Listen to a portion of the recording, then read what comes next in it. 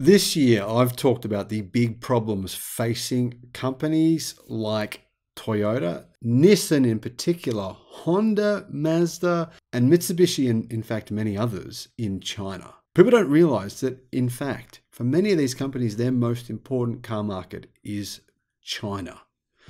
At the end of this year, there will be uh, possibly millions of cars in China that cannot be sold. In fact, at the moment, there's already 2 million cars that don't comply with China's regulations, which were meant to come in force a month ago, but they've been given a deadline now to the end of this year. What exactly are they going to do with all these vehicles? Hello, my friends. Welcome to the channel. I'm the Electric Viking. Great to see you.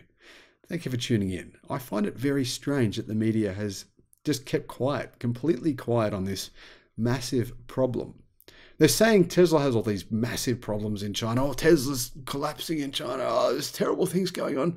But I think, well, a bigger problem is if your factory that produces a certain type of car um, is basically useless because uh, you can't sell that car anymore in China. Now, the reality here is that uh, China is more important to Volkswagen and Toyota than it is to Tesla. That's true in terms of sales in the country. It's more important. Why do I say that? Well, first of all, Tesla has no debt and what, more than $20 billion in cash.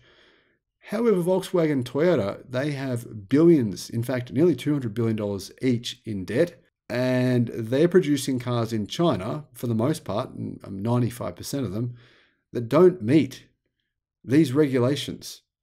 That's a pretty big problem. Now, I think it's an even bigger problem for companies like Nissan. For example, Nissan sold 3.2 million cars last year, which is a big problem for them because only a couple of years ago they sold more than 5 million. Their sales are dropping like, I don't know, insanely fast, Nissan sales. More than 33% of Nissan sales last year worldwide were in China. And Nissan, well, their cars don't don't meet the standards either. Car News China says that on the 9th of May, the Chinese regulatory body under the Ministry of Industry and Information Technology announced that every car produced, imported or sold since the 1st of July must comply with the 6B emissions standard.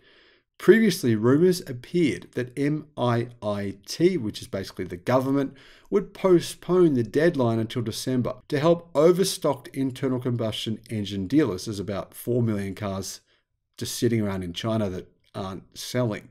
Apparently, factories are being slowed down or just, in fact, stopped completely because um, they are selling products that no one's buying or that they have just too many cars of certain models that aren't selling. For example, the Nissan Sylphy.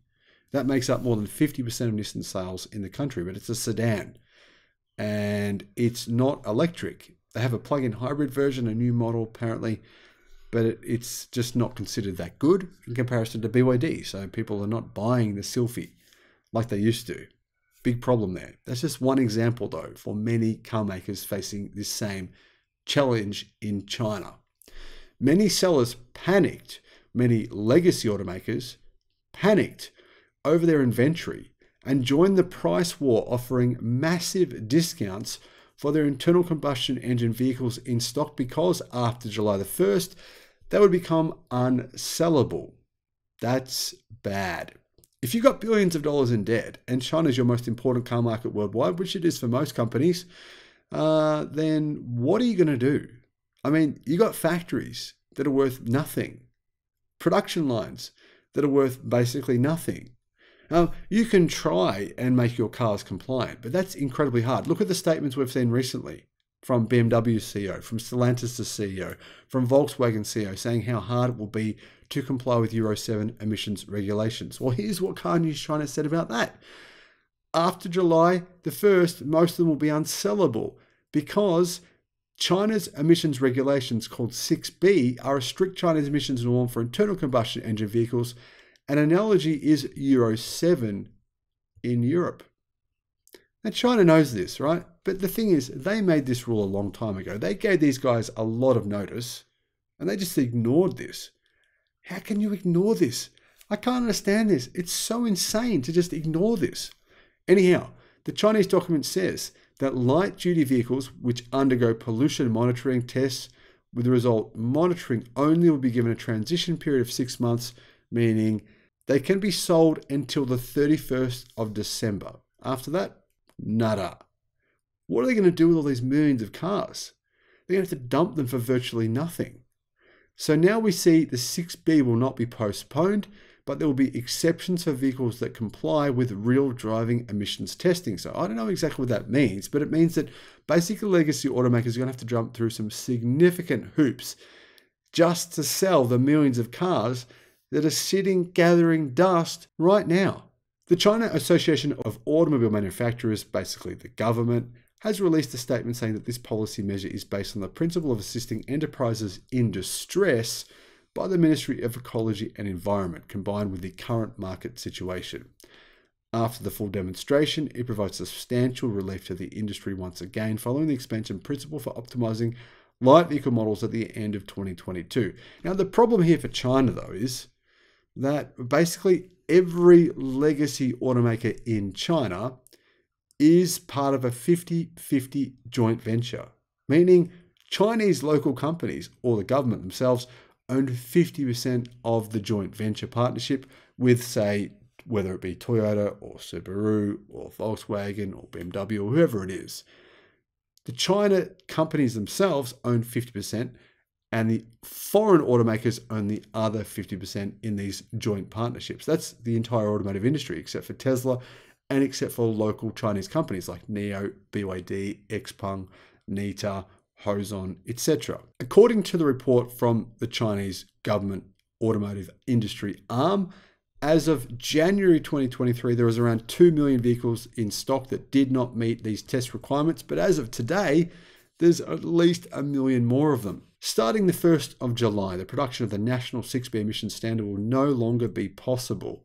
A six month transition period will be implemented for RDE test models, resulting in a significant increase in production from May to June.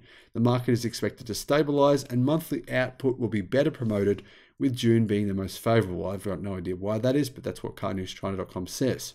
Now, the Chinese government said this We believe that implementing this policy is a response to the industry's appeal, meaning the industry wants EVs, Chinese government wants EVs, and it's a highly beneficial policy for the country, the people, and the industry. And I have to agree. I mean, if you want to take over the global automotive industry, make more EVs, make them compelling, make good ones. They're doing that. They're trying to promote the electric vehicle industry because China knows that's the future of the global automotive industry.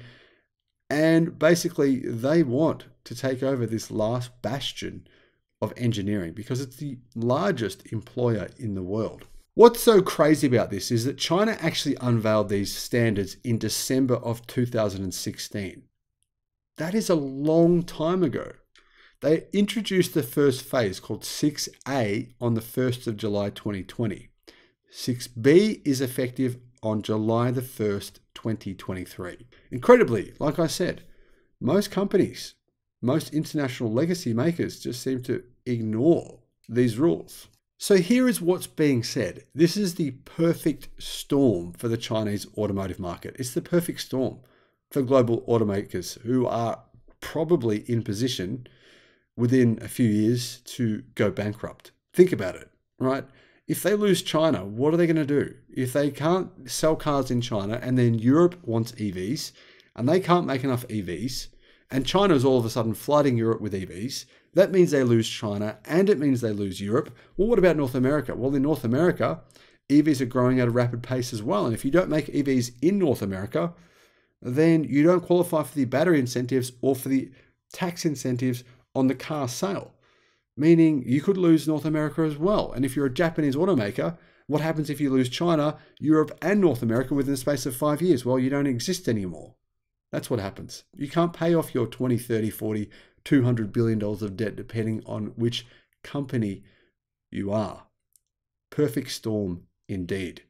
This is the mother of all perfect storms, and it really could trigger a global recession, if not a global depression. Who was the last company to go bankrupt? General Motors. Do I think they will be one? Well, no, I think GM are focusing on North America quite wisely. But companies such as Nissan, Mazda, Subaru, Toyota, well, they're all pretty well cooked. None of them mass produce EVs. For example, Toyota 0.2% of their car production last year were electric cars, and they have $200 billion in debt. The end could be closer for companies from Japan than what people realize. So basically, this video is a warning. Don't be invested in a company who may or may not have a future. Let me know what your thoughts are in the comments. Thank you for watching.